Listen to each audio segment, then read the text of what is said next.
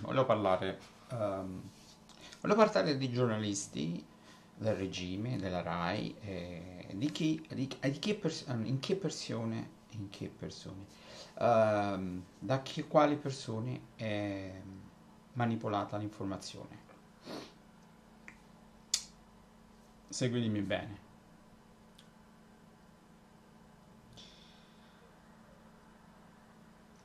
Ehm, ho scritto un'affermazione molto forte, ma alla quale che è il risultato di una serie di informazioni che portano a questa cosa qui. Ovviamente non c'è un determinismo, ma tutto porta a questa cosa qui. E io non vorrei che portasse a ciò, perché nessuno vorrebbe che accadesse quello che potrebbe accadere, ma essere consci di una cosa è, primo, è, il primo modo per evitarla, non nascondersi. Allora, una persona che fa il giornalista alla RAI, che legge le notizie, che era fra gli amici di Facebook, e gli ho detto questa cosa qui. Bene, sapete qual è il risultato? E io ve lo faccio vedere. Uh, mi ha dato del malato di mente mi devo far curare. Allora, queste persone che sono pagate anche da noi che paghiamo il canone e da me, mentre io da loro non ricevo niente dalla RAI, si permettono di insultare gratuitamente persone uh, in un modo oltretutto abbastanza puerile per una persona che uh, si suppone che abbia fatto un concorso, sia la RAI, ti devi far curare siccome ho mandato altri link in cui vi erano cose che esistono su YouTube, ehm, cose sulla RAI ehm, e quant'altro negative, eh, e sappiamo come è manipolata, a parte qualche trasmissione tarda notturna, ma insomma l'informazione della RAI è assolutamente di parte schierata europea di, di, di regime.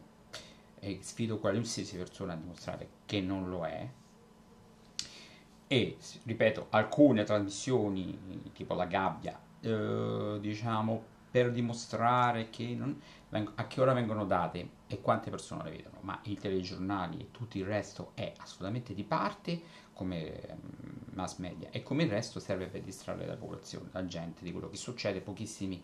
Uh,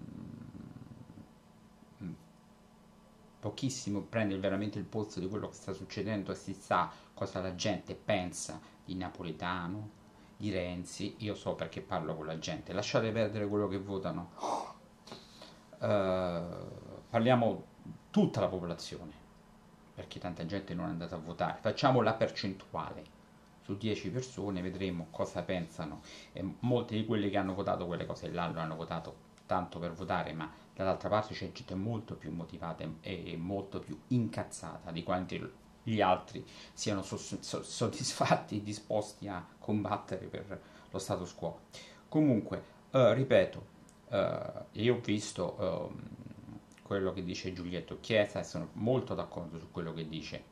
Lo chiamano catastrofista. Ricordiamoci che ci sono state due guerre mondiali, che sono state ehm, buttate due bombe atomiche che recentemente vi sono guerre cosiddette locali, ehm, tante situazioni di guerra, da quello che succede all'ISIS, da pro- guenti di guerra che ci sono stati e fortunatamente ancora non è scoppiata, ma era nei loro piani contro l'Iran, eh, tutto sta portando per una serie di cose, eh, diminuzione delle risorse naturali, incremento della popolazione, uh, è nell'ordine delle cose, proprio matematico, che a un certo punto, se ci sono 10 topi e un pezzetto di formaggio, questi 10 topi uh, si batteranno fra di loro per quel pezzetto di formaggio, a meno che non si cambi la situazione. Ma ci vuole un completo modo, cambiamento economico, eh, finanziario, socio-politico a 360 gradi per gestire in modo eh, più eh, giusto e ecocompatibile le risorse che ci stanno rispetto alla popolazione che c'è. Altrimenti in questo modo diciamo neoliberista che eh, da una parte l'Occidente sta facendo, anzi l'Occidente, e a cui forse si oppone solo la Russia, ma eh, la Russia non solo si oppone, ma eh, viene spinta a questo... Ehm, viene, eh, diciamo, in tutti i modi pungolata attraverso politiche eh, che spingono la Nato e l'Occidente sotto le porte della Russia in modo anche um, aggressivo. E vedete lì parliamo di gente di lingua e di origine russa in Ucraina. E quindi stiamo parlando della Russia che non sta lì a fare i, i propri interessi ma eh, a livello economico ma parliamo proprio di popolazioni russe russofone eh, lì si gioca la battaglia finale in Ucraina lì l'America vuole vedere fino a che punto la Russia lascia perdere o è disposta a, a porre un limite. Oltre questo sono cazzi amari e i cazzi amari volano intercontinentali e arriveranno anche qui dove ci sono basi americane. Non si salva nessuno.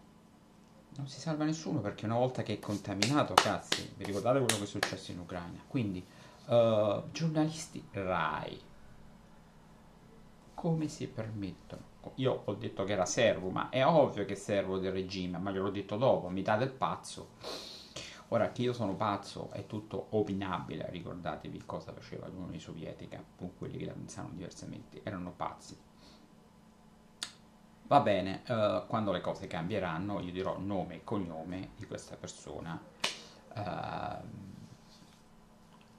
eh, io penso che tutte queste persone dovranno espatriare come minimo, se non essere resi, eh, tutte quelle persone, vi ricordate quando è finita la seconda guerra mondiale, pure le persone, direttori di orchestra eh, che avevano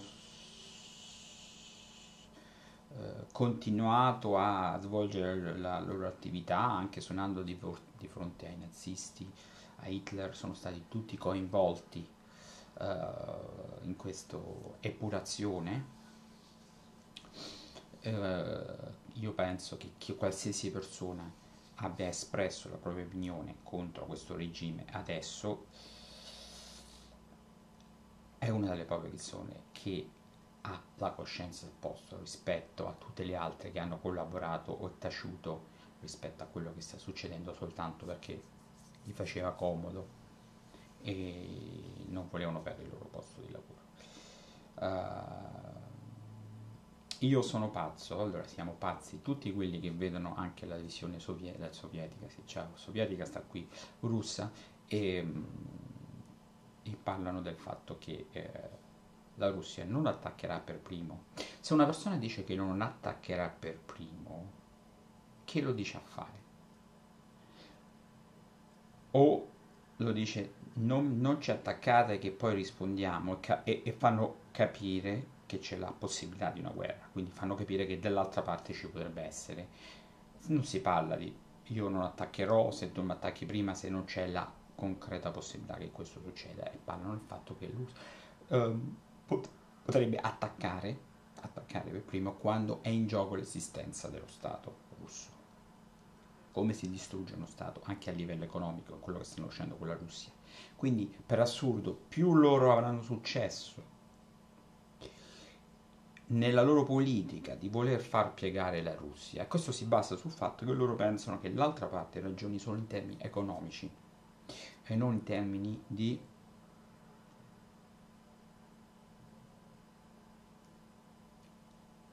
um, umani, di dignità, di quant'altro.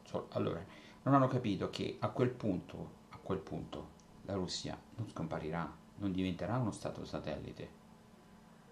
Ha una guerra economica che sta vincendo, che non può vincere economicamente, arriverà una guerra vera e propria. Quindi non ci sono stronzetti, fighetti de- de- della RAI che si credono sto cazzo a a poter pigliare per il culo gente che ne ha capita che io penso sinceramente di questa cosa l'avranno capite molto di più di questi che stanno alla RAI, uh, che leggono le notizie, lasciamo perdere, con che faccia, con che faccia possono leggere nel Fondo Monetario Internazionale, dell'Europa, ancora questa cosa dell'Europa, con che faccia. Mi ricorda i giornalisti de, de, de, che stavano alla, alla, alla, alla televisione polacca. Vabbè, questo è quanto. Chao.